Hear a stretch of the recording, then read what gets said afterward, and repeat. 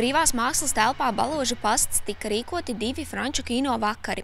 Pasākuma iniciators bija francūzis Metju Šazels, kurš Talsos dzīvo jau sešus mēnešus un aktīvi darbojas Eiropas brīvprātīgā darba projektā Talsu novada fondā.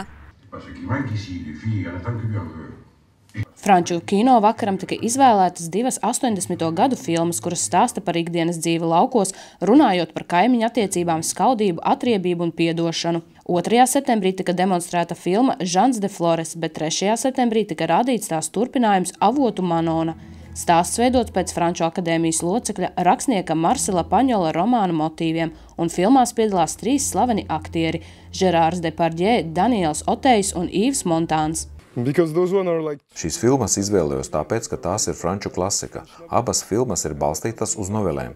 Es esmu no Dienvidfrancijas, un filmas ir uzņemtas tieši Dienvidfrancijā. Tās it kā nav ar mani saistītas, bet tās uzņemtas manā reģionā, un es vēlējos parādīt Dienvidfrancijas ainavas latviešiem. To, to Lai ikvienam būtu iespēja saprast un izjust filmu stāstu, jaunieši aktīvi strādāja pie abu filmu tulkošanas. Izvēlētās filmas nebija pieejamas latviešu valodā, tāpēc ilgs laiks tika pavadīts aktīvos tulkošanas darbos, jo katra filma bija divu stundu garumā.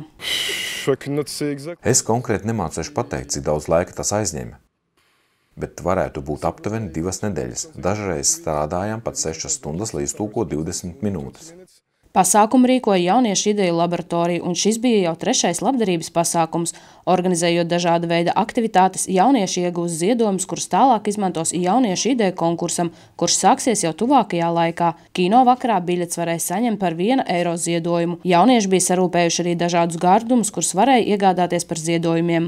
Uh, Mēs iegūsim līdzekļus, lai organizētu projektu konkursu. Konkurs būs domāts vietējiem jauniešiem, lai uzlabotu vidi sev apkārt.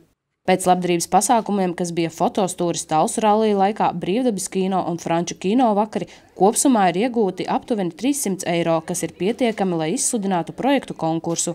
Visus pasākumus organizēja abi Eiropas brīvprātīgā darba veicēji Meķjūs Šazels un Tāsins Ozers kopā ar aktīvajiem Talsu novada jauniešiem. Baiba Demberga, Terēza Matisone, Talsu televīzija.